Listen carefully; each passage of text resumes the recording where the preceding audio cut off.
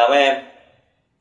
Hôm nay mình qua bài hiện tượng quan phát quan à, sơ lược và laser ở cái bài này sách cơ bản á, chia ra làm hai bài. Sách nâng cao lại gom lại thành một bài. Đúng không ạ? Thì bây giờ mình làm luôn. Hai bài này làm theo nâng cao. À, bởi vì thật sự ra nó cũng có liên quan đến hiện tượng quan phát quan hết có hiện tượng. Rồi đây là bài kế cuối xong bài này mình còn bài cuối cùng của chương lượng tử ánh sáng. Đó và xong chương lượng tử ánh sáng mình còn chương hạt nhân là chương cuối cùng. Là coi mình xong được 7 chuyên đề. À. bài này là bài kế cuối của chuyên đề số 6 được chưa? Bây giờ hiện tượng quan phát quang trước khi nói hiện tượng quan phát quang thầy nói hiện tượng phát quang trước. Phải không ạ? Phát quang. Trên thực tế anh thấy nè ở cái bài uh, quan phổ, em nhớ mà, miếng sắt mình nung nóng lên. Nung đến nhiệt độ nào đó, tự nó bắt đầu phát sáng lên. Phải không ạ? Nó phát sáng lên thì quang là ánh sáng đấy. Thì trường hợp đó là do nhiệt phát quang. Đồng ý không ạ? Hoặc là em thấy con đom đóm đấy. Con đom đóm mà khi nó bay vào ban đêm, tự tự trong thân nó có một chất phát phát sáng ra. Cái đó là do hóa phát quang. Một số chất có khả năng tự phát sáng gọi là hóa phát quan, à. vân vân nhiều cái phát quan trong tự nhiên nhưng ở đây mình nghiên cứu hiện tượng đặc biệt là quan phát quan, à, quan phát quan là gì đầu tiên mình nói hiện tượng quan phát quan.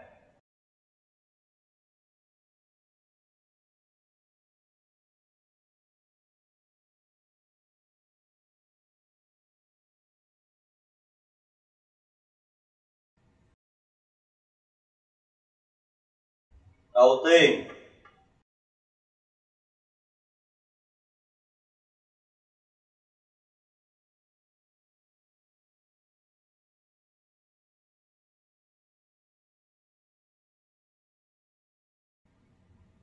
hiện tượng phát quang là mình nói, mới nói xong. Có nhiều trường hợp phát quang có thể là điện phát quang, có thể là nhiệt phát quang, có thể là hóa phát quang, vân vân. Miễn làm sao mà từ vật do kích thích tác nhân bên ngoài hay là tự tự bản thân mà phát ra ánh sáng, nằm trong mình nhìn thấy được. Mình thấy được nó gọi là phát quang. Đồng ý mà nhưng mà ở đây mình nghiên cứu hiện tượng quang, phát quang có nghĩa là ánh sáng mà phát ánh sáng. Thì một số chất, một số chất có khả năng rất đặc biệt như thế này. Trong cái công tắc điện á, có một số loại công tắc. Khi em tắt đèn đi ngủ á, thì em thấy chỗ công tắc nó vẫn sáng lên màu xanh nhẹ nhẹ. Phải không ạ? Sáng lên màu xanh nhẹ nhẹ đó, tại sao nó sáng? Kéo thời gian rất là dài để khi mà ban đêm dậy mình cần bật điện lên, mình làm công việc gì đó chẳng hạn, thì nó, ánh sáng nó phát ra, mình đến mình gặp, mình bật công tắc rất là nhẹ nhàng. Phải không ạ? Đó, những cái đó là những cái mình thấy trong thực tế.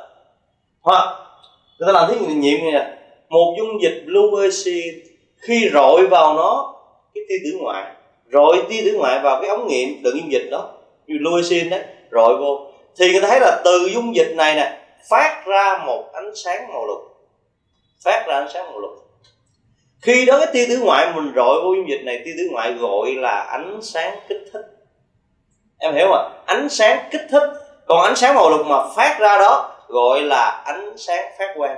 Phát quang là mình phải nhìn thấy được, mới gọi là phát quang. Em hiểu không? Đó. Như vậy, hiện tượng quang phát quang, có nhiều hiện tượng phát quang ha, nhưng mà quang phát quang là hiện tượng một chất nào đó có khả năng hấp thụ ánh sáng, hấp thụ ánh sáng và phát ra được ánh sáng trong vùng nhìn thấy. Em hiểu được không ạ? Cái câu chuyện này là xảy ra ở điều kiện bình thường không cần gì quá đặc biệt. Đó. Cho nên đây mình nói hiện tượng qua phát quang. À,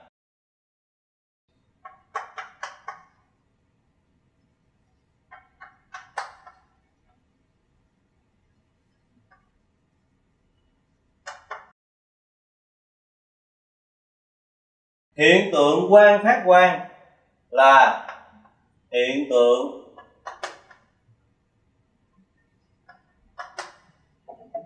một vật đó, có khả năng hấp thụ hấp thụ bức xạ. Trong vùng nào đó. Và phát ra phát ra bức xạ. Tức là ánh sáng. Phát ra bức xạ hay gọi là dễ nhớ? Ánh sáng trong vùng nhìn thấy. Bắt buộc nha. Trong vùng nhìn thấy. Hiện tượng này gọi là hiện tượng quang phát quang xảy ra ở điều kiện thường. Nhớ dùm thầy, được chưa? Đó. Rồi, như vậy, ở hiện tượng quay phát quan này nè, mình quay lại. Cái công tắc điện, sau khi tắt cái bóng đèn rồi, tắt bóng đèn bóng đèn ở trên nhà này đó, tắt rồi, nhưng mà nó vẫn sáng. Em hiểu không ạ? Nó vẫn sáng. Giống như dung dịch luoxin khi mà người ta rọi cái tia tử ngoại vô, nó phát ra màu lục tắt cái tia ngoại thì thấy cái ánh sáng màu lục đó vẫn còn tồn tại một thời gian nào đó. Vẫn còn tồn tại thời gian nào đó. Em em em nhớ mà, ngừng ngừng kích thích cái ánh sáng màu lục có nghĩa là ngừng kích thích đi, ngừng rọi vô đi. Nhưng mà ánh sáng phát quang nó vẫn còn. Cái thời gian kéo dài từ lúc ngừng kích thích đó đến lúc mà nó tắt hẳn, gọi là ngừng phát quang. Thì thời gian đó gọi là thời gian phát quang. À nhớ dùm này thời gian phát quang đó. Thời gian phát quang là gì ạ? Là thời gian.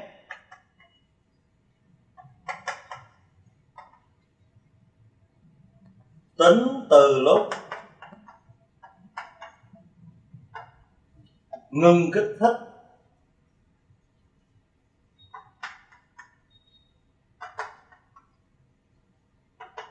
đến lúc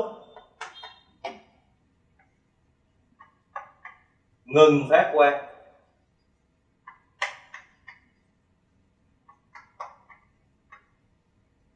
cái này gọi là thời gian phát quang.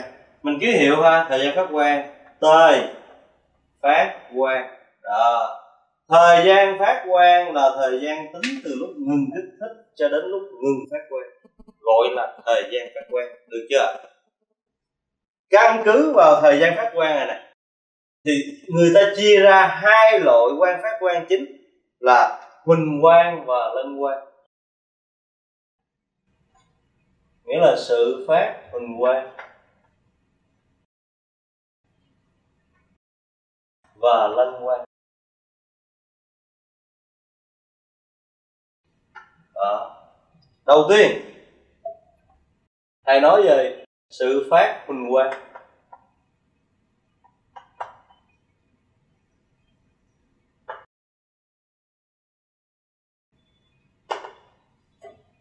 Huỳnh quang là một nguyên tắc phát quang. Một nguyên tắc phát quang.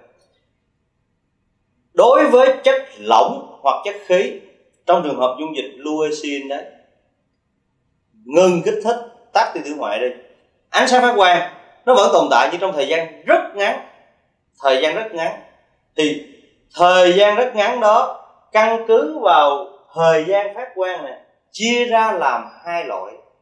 Loại thứ nhất là huỳnh quang. Huỳnh quang phát quang ờ, sự phát huỳnh quang là thời gian phát quang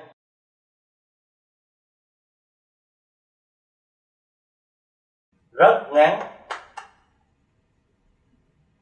Rất ngắn ở đây là thời gian phát quang đó em. Nó nhỏ hơn 10 mũ trừ 8 giây. Nhỏ hơn 10 mũ trừ 8 giây cho nên người ta có thể nói là gần như tắt ngay sau khi người kích thích. Một 10 mũ trừ 8 giây. Một phần 100 triệu giây. Phải không ạ? Và cái sự phát huỳnh quang này nè, nguyên tắc phát xảy ra với chất khí và chất lỏng. Nhớ nha từ phát huỳnh quang này xảy ra với chất khí và chất lỏng.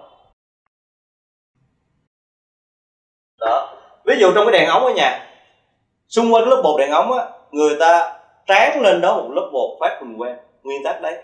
Khi mà có điện qua thì thật ra cái này là đèn hơi thủy ngân, nó kích thích kích thích lên lớp bột phát quang đó. À, nó phát ra cái bức xạ kích thích lên đó. Các bột phát lớp bột phát quang nó phát ra ánh sáng. Đó những ánh sáng mà làm sáng cái căn phòng này sáng ở nhà mình. Đó là do lớp bột phát quang theo nguyên tắc huỳnh quang. Ha ở trên xung quanh tráng lên xung quanh cái cái cái bóng đèn ống đấy. Được chưa? Đó. Để sự phát huỳnh quang là thời gian phát quang rất ngắn. Nhỏ hơn mỗi từ 8 giây xảy ra với chất khí và chất lỏng. Nhớ nha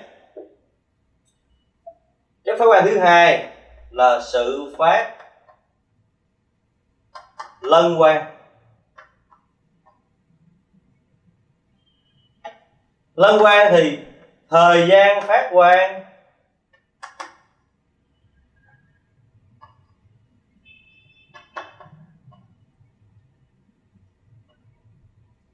Thời, thời gian phát quang lớn hơn. Lớn hơn là tê phát quang đấy. Nó lớn hơn 10 mũ trừ 8 giây người ta lấy cái mốc này thực tế ra phát lăng quang này, đôi khi nó kéo đến vài giờ đồng hồ đấy. Em hiểu không? Lớn hơn mũ trừ 10 mũ trừ 8 giây đến khoảng thời gian rất dài. Ví dụ em đi ngoài đường thấy là những cái sơn sơn mà quét trên các biển báo giao thông sơn kẻ đường. Đó sơn biển báo giao thông sơn kẻ đường. Thì thời gian phát quang của nó, của nó có thể là vài phần 10 giây vài phần mười vậy. Thì nó lớn hơn cái này rất là nhiều, em hiểu không thì tất cả cái câu chuyện mà phát quang đó chính là lân quang. Và lân quang này xảy ra với chất chất rắn.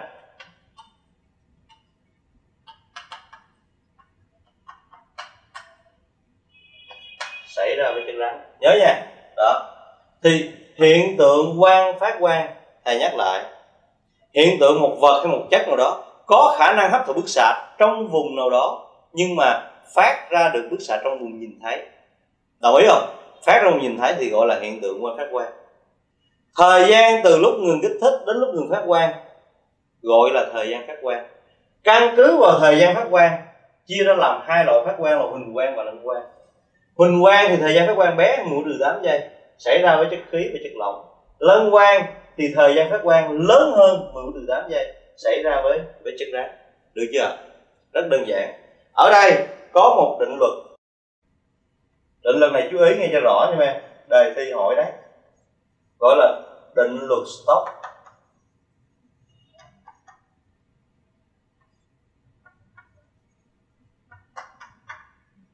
Định luật stop hay người ta còn nói, gọi đó là đặc điểm của ánh sáng huỳnh quang gì đó. Rồi tổng quát luôn, định luật stop.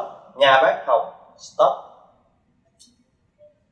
Đã chứng minh được, từ thí nghiệm chứng minh được chuyện này. Đó. Là bước sống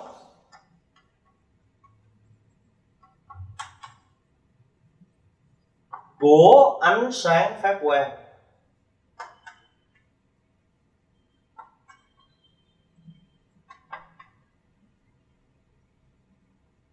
Bước sống của ánh sáng phát quang luôn lớn hơn bước sống của ánh sáng kích thích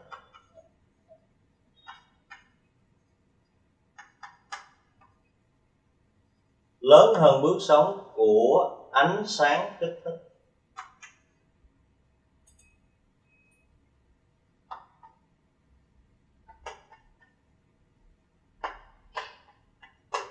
đơn giản vậy thôi. Đó. Nhé. Đến stop mình phải ghi lại nè bước sóng của ánh sáng phát quang luôn lớn hơn bước sóng của ánh sáng kích thích. Đó. tại sao lớn hơn? Giải thích như sau. Khi vật đó rọi ánh sáng kích thích vô, nghĩa là rọi một photon có năng lượng, đúng không ạ? Là epsilon kích thích nào đó. Thì các phân tử nguyên tử nhận được photon này chuyển lên trạng thái kích thích cao hơn nó hấp thụ được chuyển lên. Đâu phải vật nào cũng có khả năng phát quang đâu. Em hiểu mà hấp thụ được chuyển lên nền thấy kích thích. Rồi va chạm, chuyển lên va chạm với các nguyên tử khác. Va chạm với nguyên tử khác nó mất mát năng lượng đi. Nó trở về trạng thái có năng lượng thấp hơn. Khi khi được kích thích, nhảy lên cao hơn, rồi va chạm mất mát năng lượng, trở về một trạng thái thấp hơn, thì phát ra photon đó gọi là photon phát quang. Cho nên luôn luôn có được là năng lượng của photon phát quang sẽ năng lượng của photon phát quang sẽ bé hơn năng lượng của photon kích thích. Bởi vì nguyên tử phân tử hấp thụ được photon kích thích chuyển lên trên va chạm, mất mát năng lượng, trở về trạng thái cấp hơn thì nó mới phát ra phương phát quang. Thì năng lượng luôn bé hơn. Mà năng lượng bé hơn, nếu em trả về đây nè. H chia lambda phát quang. Bé hơn h chia cho lambda kích thích. Thì trừ từ chỗ này, em suy ra được là lambda phát quang sẽ lớn hơn lambda kích thích. Đây chính là nội dung của định luật stop, được chưa? Nội dung định luật stop đấy. Được chưa? Đó. Như vậy, qua cái định luật stop này, có chú ý quan trọng đây. Nhớ, tia hồng ngoại không bao giờ gây ra được hiện tượng quang phát quang đồng ý không? Bởi vì tia hồng ngoại, năng lượng trong vùng hồng ngoại mà kích đóng vai trò là kích thích rọi vào chất nào đó, thì chất đó hay giả sử phát quang thì phải nằm trong vùng vùng có bước sống lớn hơn. Bước sống lớn hơn hồng ngoại là nằm từ hồng ngoại luôn, trở về trước, hồng ngoại trở về sống sống vô tuyến đấy không ạ? Sóng điện từ mình hồng rồi mà hồng ngoại trở về sống vô tuyến thì không kích thích lên dây thần kinh thị giác của người. Đúng không ạ? Cho nên tia hồng ngoại thì không gây ra được hiện tượng quang phát quang đề thi đã từng gài chỗ đó đấy. Em hiểu được không ạ? Đó. Vậy muốn gây ra được hiện tượng quang phát quang tối thiểu phải là ánh sáng nhìn thấy. Nhớ chưa? Đó. Như vậy bài uh, hiện tượng quang phát quang đó ba cái quan trọng nhất. Thầy đã nói rồi em nhớ giùm thầy. Được chưa? Rồi bây giờ thầy trò mình tiếp tục qua một sự phát quang mới, đó là sơ lược và lại gian tôi nói là cái gì? À